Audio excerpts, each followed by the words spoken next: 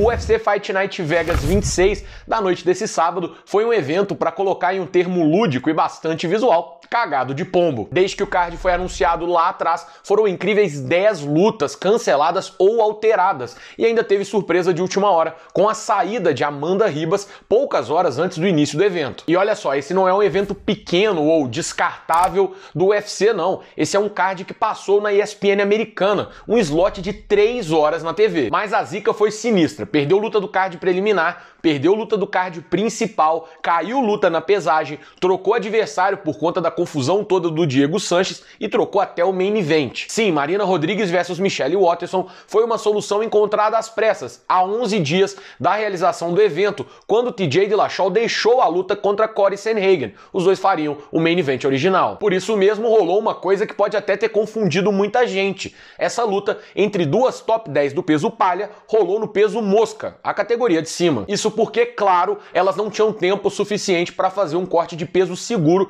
e saudável. E imagina também correr o risco de perder outra luta por conta disso. Marina, aliás, foi quem mais teve problemas por conta dessa confusão toda, já que a Michelle Watterson vive em Albuquerque, aí 8 horas mais ou menos de carro de Las Vegas, ou um voo curto aí de uma hora e meia. Rodrigues teve uma verdadeira maratona logística nesses 11 dias. Ela teve que conseguir um visto para os Estados Unidos às pressas, algo que já é difícil numa situação normal. Mas no contexto que a gente vive hoje, é estressante o suficiente. E como se não bastasse, chegou em Las Vegas na véspera da pesagem, ou seja, menos de 48 horas antes do início da luta. Mas no final das contas deu tudo certo, e é por isso que eu digo que a Marina conquistou uma vitória dupla nessa noite. Uma sobre a Michelle Watterson e outra sobre essa confusão toda que ficou ao redor do card mais zicado do UFC nos últimos tempos. Mas não é só isso. Pensando bem aqui e olhando para a luta, foi quase como que se tivessem rolado duas lutas ali mesmo, uma até o terceiro round e outra dali para frente. A diferença de gás de Rodrigues nesses dois momentos foi gritante e isso proporcionou a Michelle Watterson a chance de crescer no combate. E eu digo crescer porque os três primeiros rounds foram um monólogo da brasileira. Marina usou de forma muito inteligente e estratégica a sua vantagem de envergadura, deixando o Watterson com praticamente só os chutes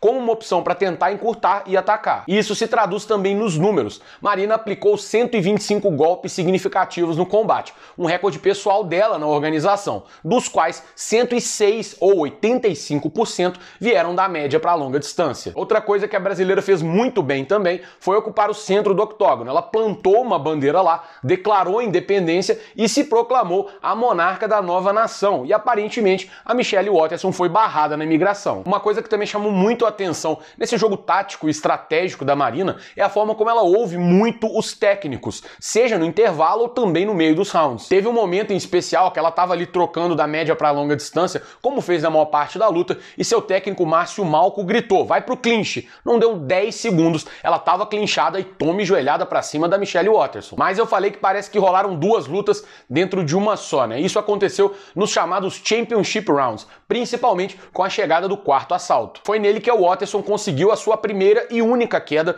de toda a luta. Ela caiu muito bem, dominando a perna direita da Marina e também impedindo a brasileira de fazer o wall walk para se levantar. Foi dali no ground and pound que Michelle viveu seu melhor momento em todo o combate, inclusive conectando uma cotovelada certeira que aparentemente lesionou o rosto de Marina Rodrigues, que sequer ficou para entrevista pós-luta, foi direto para o hospital. Mas no quinto assalto, mesmo que visivelmente cansada e compreensivelmente num ritmo bem menor, Marina voltou a levar a melhor e tomar o controle das ações, mesmo que já dentro dessa segunda luta que eu falei. Assim, Marina sai com sua segunda vitória seguida sobre uma colega de top 15 e também aparece como uma opção extremamente viável para qualquer uma do top 5 da categoria, principalmente considerando que a campeã Rosina Mayunas e a número 1, Weili Zhang, vão estar provavelmente ocupadas com uma revanche. Eu não sei você, mas eu já encomendaria a pipoca e o Guaraná ou umas duas caixas de cerveja, caso o Renato me dê folga nesse dia, claro, se o UFC for lá e marcar Marina Rodrigues versus Joanna Jędrzejczyk. Essa luta não só faz todo o sentido do mundo, como tem um baita potencial de entregar um tremendo lutão pro fã que tá acompanhando. Só não me ponham essa luta em um card tão zicado quanto esse, hein? E é isso, dessa forma então eu coloco um ponto final nessa resenha, mas ela continua com você aqui nos comentários. Me diz aí o que você achou da vitória da Marina Rodrigues e qual que é um bom nome para enfrentar ela na próxima rodada. Se você ainda não é um wrestler All-American, clique no botão azul que fica bem embaixo aqui do vídeo e junte-se ao nosso clube de membros. Você ajuda o Sexto Round a continuar produzindo cada vez mais conteúdo, participa também no nosso conteúdo exclusivo, tem acesso a aulas de comunicação do Renato, inclusive a do mês passado já está no ar há alguns dias e você vai poder acompanhar todas as outras e também concorre mensalmente a belíssimas camisetas do sexto round. Pode ser essa aqui, pode ser qualquer um outro modelo do nosso cardápio que você preferir. Eu vou deixar aqui um link para a última resenha do Renato, que falou sobre a polêmica da luta que marcou a estreia de Fabrício Verdun na PFL, né? Teve toda aquela história se rolaram os tapinhas ou não. O Verdun oficialmente até o momento segue com a derrota, né, nessa luta, mas a gente não sabe o que vai acontecer. Parece que está rolando um recurso e essa luta pode ter o seu resultado alterado. O Renato falou sobre tudo isso, explicou o ponto de vista dele, falou sobre cenários. É um vídeo bem bacana, eu recomendo que você acompanhe. E por conta dessa resenha mesmo do Verdun, a gente não teve Fala Membro ontem, né, no sábado, mas vai rolar Fala Membro no domingo. Então fique ligado aqui no sexto round para acompanhar, beleza? Valeu, um abraço e até mais.